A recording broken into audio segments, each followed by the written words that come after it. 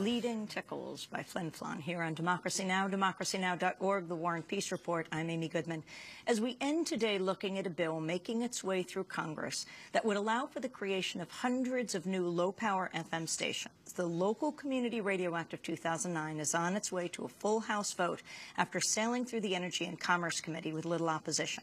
The measure would repeal legislation which requires the FCC to protect full-power broadcasters from interference from low-power FM stations stations being placed on third adjacent channels. Democratic Congressmember Mike Doyle of Pittsburgh is co-sponsor of the bill. He joins us from Washington, D.C. We're also joined in the Firehouse studio by Cory Fischer Hoffman, campaign director of the Prometheus Radio Project. We welcome you both to Democracy Now! Um, let's begin with you, Cory. Explain the bill that just passed.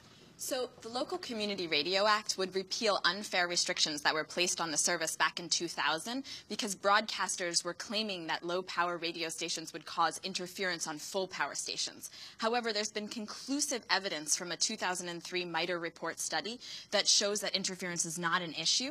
And so these restrictions would be removed through the Local Community Radio Act, opening up the airwaves to hundreds, potentially thousands of more community radio stations across the country. Uh, Mike Doyle, talk about the significance of the passage from subcommittee through the full committee now going to the House floor and how you got involved with this as a congressman from Pittsburgh. Well, in, in my city of Pittsburgh, uh, there are no chances for local community broadcasts like this. This this is a, a, unique opportunity to give a voice to people who don't have a voice right now on the radio. Uh, there simply weren't slots at third adjacent uh, in, in, the city of Pittsburgh. So larger areas that have lots of big AM and FM full power stations, uh, it's impossible for local community radio stations to, to have a slot on the dial because of this so-called interference uh, issue, which uh, the MITRE study proved to not be an issue at all. Uh, it's been a long process. We've been fought uh, every step of the way by the big broadcasters who, who didn't want this bill to pass, but finally, I think the overwhelming evidence of the study and on three separate occasions, uh, unanimous votes by the FCC saying that Congress should move forward on this uh, finally brought us to a point where we were able to get this bill up in subcommittee and full committee and pass it. And I'm excited to say that we hope to have this bill on the House floor by the end of the month. And, it, and it's really important that people get in touch with their Congress people uh, in their districts and make sure that they vote for this legislation. Mm. Uh, Cory, talk about the whole movement for low power FM.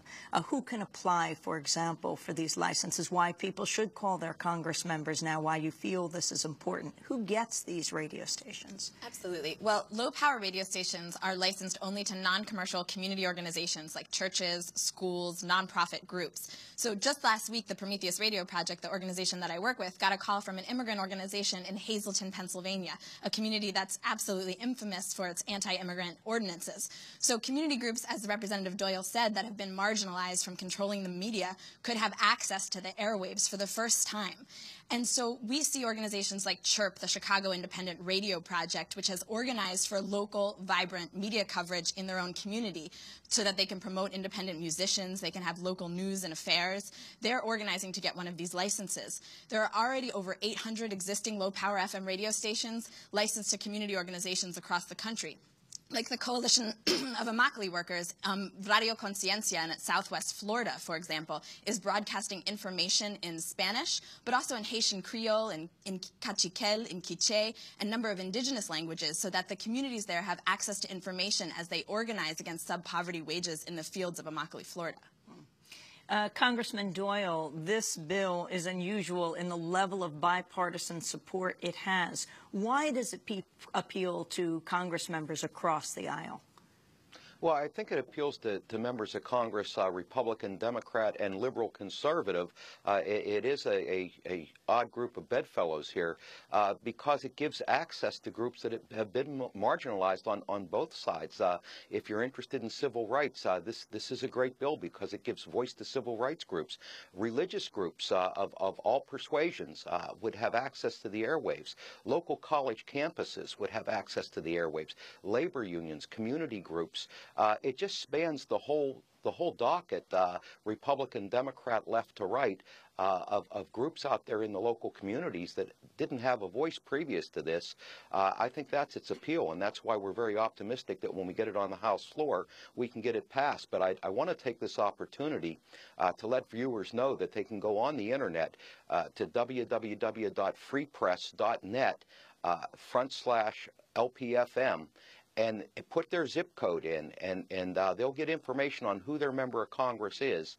And we urge uh, people to contact them because this will come up on the House floor in the next couple of weeks, and we have to make sure we get a large vote for it in the House to give it momentum in the Senate. And what is happening in the Senate right now, Congressman Doyle? Well, there's a companion bill in the Senate. Uh, we're very optimistic that if we can send this bill by the end of the month to the Senate with a big vote, that it's going to give us the momentum we need to get the Senate to act. Uh, we have strong backers in the Senate. Uh, the time has come to give low power to the people, and uh, this is our opportunity to do it. So while we have this momentum, uh, we want to move forward and see if we can get this done by the end of the year. Uh, Cory Fischer Hoffman, you've dubbed this month October. Absolutely. We're asking everyone, as Representative Doyle said, to contact their congresspeople. Um, you can go to Free Press's website, an organization that has been key in this fight for low power radio, as well as the Future of Music Coalition, who's been organizing with us. We're asking people to contact their representatives and say, please support HR 1147. We want to have a local voice in our community. We want to be able to share local news and information. Um, we know that this is essential not only um, to have local news and information, but also to broadcast perspectives that aren't often heard on the mainstream media. Uh, for many of your viewers and listeners, Democracy Now! is broadcast on numerous low-power FM radio stations. So it's absolutely essential that people take action this month and push this legislation forward. And who are the forces arrayed against you, against the media democracy movement? Well, in the past, the National Association of Broadcasters, representing some of the biggest industry um, side and corporate media, have been opposed to this legislation.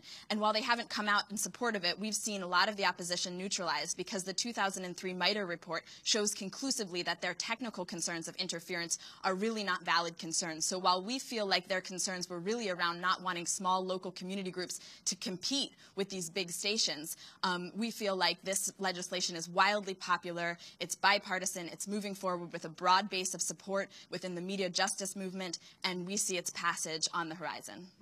And uh, do you predict, Mike Doyle, um, in Congress, uh, these forces that have been traditionally arrayed against coming out now as this bill goes to the floor and how you deal with uh, the commercial broadcasters as media concentrates at the same time as it looks like you're making a move towards decentralization?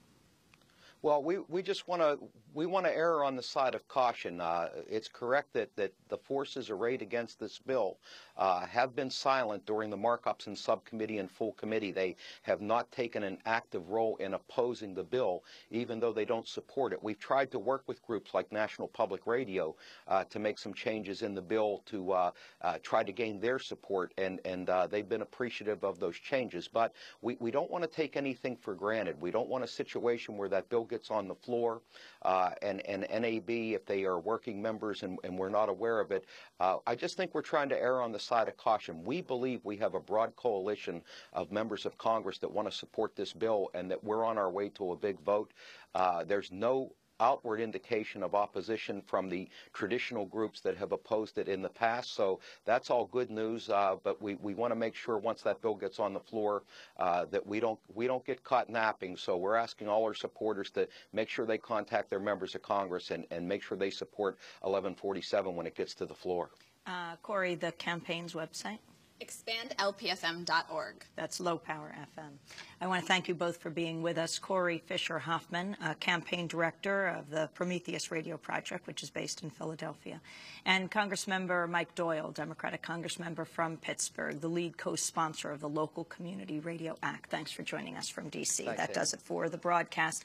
Democracy Now! produced by Mike Berkshire, Fabio Caduce, Armata, Anjali Kamat, Steve Martinez, Nicole Salazar, Hany Massoud, Rabi Karen, Mike DeFilippo, Miguel Nogueira, Peter Curry, our engineers. I'm Amy Goodman. Thanks so much for joining us.